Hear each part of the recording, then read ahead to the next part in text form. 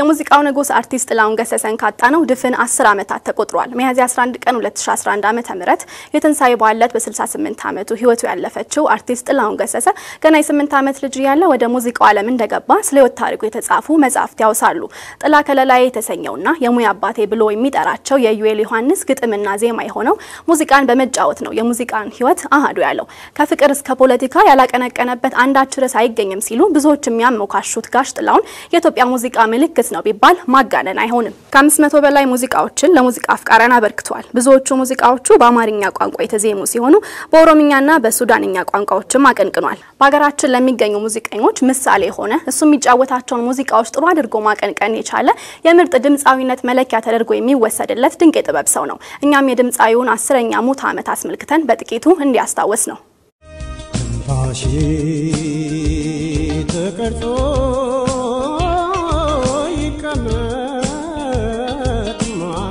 ማልቀሻ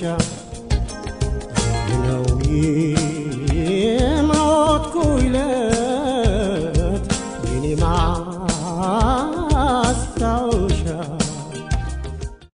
ከራስ ጋር ንግግር የተሰኘውን የመጀመሪያ አልበሙን ለሙዚቃ አፍቃሪያን ካደረሰ ሶስት ዓመታት ተቆጥሯል። አሁን ደግሞ 11 ገጾች የሚል በውስጡ 11 ሙዚቃዎችን የያዘ አልበም ይዞ መጥቷል። ሳሚዳን ፍቅር፣ ትዝታ፣ ማንነት እንዲሁም ማህበራዊ ህይወት ላይ አትኩሮታቸውን ያደረጉት የሙዚቃ ግጥሞቹ በራሱ በድምፃዊው የተጻፉ ናቸው፣ ዜማዎቹንም ጨምሮ። በቅንብሩ አንዱ አለም ቤተ ወይም ኤንዲ ቤተ ዜማ የተሳተፈበት ሲሆን mastering ኡ ደግሞ ሎስ አንጀለስ በሚገኘው Sound Baker company የተሰራ ነው። ከዝነኛው የኦሮምኛው ድምፃዊ ጌታቸው ኃይለማርያም ጋር የተጣመረበት ስራም አልበም ውስጥ እንደተካ ተካተተ ሰምተናል።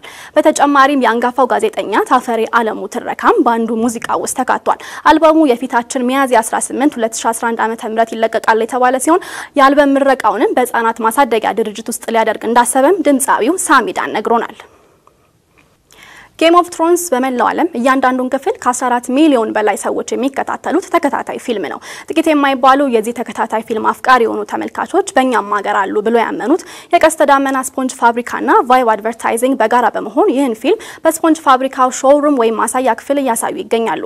የፊልሙ ስምንተኛውና የመጨረሻው season መውጣቱን አስመልክቶ የተዘጋጀው ይህ ልዩ ዝግጅት ለቀጣይ አምስት ሳምንታት ይቀጥላል። ፊልሙን በየሳምንቱ ሰኞ ከምሽቱ አንድ ሰዓት ጀምሮ እስከ 300 ሰው በሚይዘው የፋብሪካው showroom ይታያል። ቀደም ብለው ትኬቱን ለሚገዙ 100 ብር በእለቱ ደግሞ 150 ብር ዋጋ ተቆርጦለታል። ፋብሪካው Cloud ብሎ የሰየመውን አዲስ ምርቱን የሚያስገኝ ዕጣም ተዘጋጅቷል። ከጓደኛና ከወዳጅ ዘመድ ጋር በመሆን ልታደሙ ትችላላችሁ።